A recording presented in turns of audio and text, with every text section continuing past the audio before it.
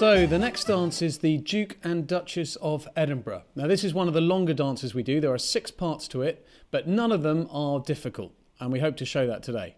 So we have a four couple set once again. Lizzie and Peter in the blue polo shirts will be top couple. They'll do the dance twice, then come to the bottom and a new couple will start. We start off holding hands and we walk into the middle. Stamp, stamp, stamp, back we go. Clap, clap, clap. And we then spin our partners once round or twice round. Just make sure you get back to your own side. So the next part of the dance is the figure of eight, but in this dance it's a figure of eight with a difference because it's only the dancing couple that are actually walking in the shape of an eight. And they start off going behind those they're stood next to, as shown by these arrows. You'll see that it's nice and symmetrical and it's a very full figure of eight as well because they come right round at the top before going right arms across for the next part of the dance. This is called teapots. And the thing to remember here is the man goes right arm across down the set and the lady goes right arm across up the set.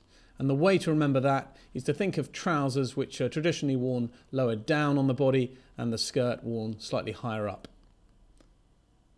So, right arms across, and you'll see then the dancing couple pass each other back to back in the middle, and then it's left arms across in those new positions. So the dancing couple end up in the middle of the set, back on their own sides, ready for the next part of the dance, which is turning their corners. And all that the dancing couple need to remember is that their first corner is on their right as they look across at their partner, and their second corner is on their left as they look across at their partner. So let's look at this from the dancing lady's point of view. Here are her two corners, first to her right, second to her left. And her partner his corners exactly the same, his first to his right, his second to his left. Just try and remember that golden rule that your first corner is always the one on your right.